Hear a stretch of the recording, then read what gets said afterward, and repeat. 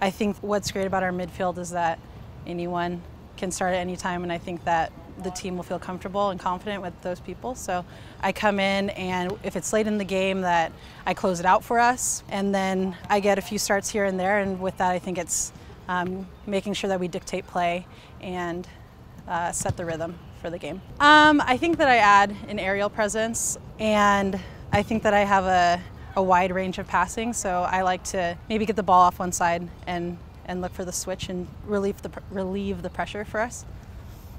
I think the focus has been to correct kind of the mistakes that we were making in our in our past Boston game and working out what our shape and movement will look like in relation to Kansas City.